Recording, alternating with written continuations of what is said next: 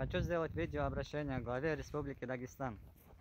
Медиков Сергей Алимович, мы жители села Мучох, Кунзавского района, Республики Дагестан. Обращаемся к вам по поводу беззакония, творящегося чиновниками Дагме Лимватхоза по отношению к нашим односельчанам. Пока мы 18 военнослужащих жителей маленького села Мучоха находимся здесь на СВО, в нашем родном селе хотят огородить по периметру длиной 4 километров озеро, которое находится на территории нашего села, забором под предлогом капремонт водохранилища. Во-первых, она никогда не являлся водохранилищем, так как образована 60 лет назад абсолютно естественным путем.